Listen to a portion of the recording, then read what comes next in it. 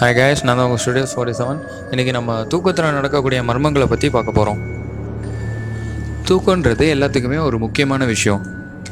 தூங்குறப்ப மட்டும்தான் உங்களோட பாடியும் பிரெயினும் ரெஸ்ட்டில் இருக்கும்.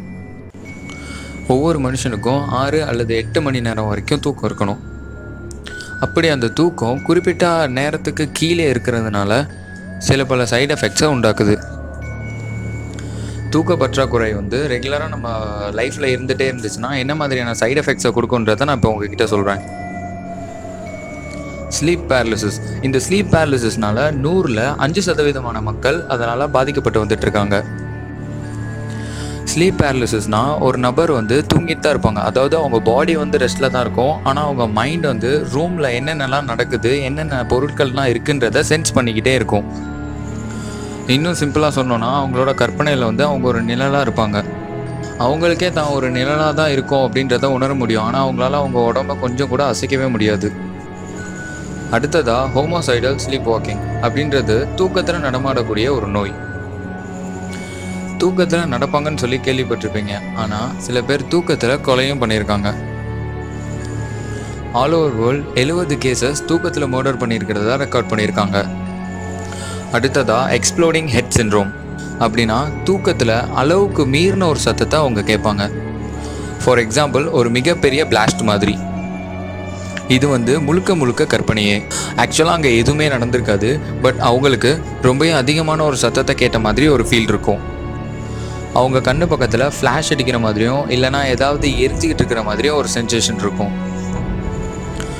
ஹிப்னிக் ஜோக் இதை வந்து கண்டிப்பாக எல்லாருமே ஃபீல் பண்ணியிருப்பீங்க அதாவது ரொம்ப ஹைட்டான ஒரு இடத்துல இருந்து கீழே விழுற மாதிரி ஒரு ஃபீல் ஆயிருக்கும் இந்த மாதிரி மேலேருந்து கீழே விழுற ஒரு ஃபீல் ஏற்படுறப்போ நம்மளோட ஆவி நம்மளோட உடம்புல இருந்து வெளியே போயிட்டு வந்த மாதிரி இருக்குமா?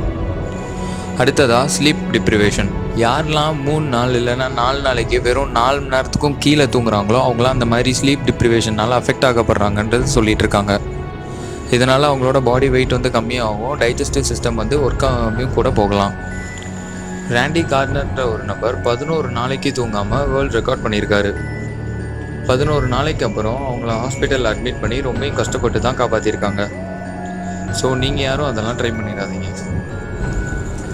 அனதர் லைஃப் இதனால் அஃபெக்ட் ஆனவங்க கனவுலேயே ஒரு வாழ்க்கையை வாழ்வாங்க.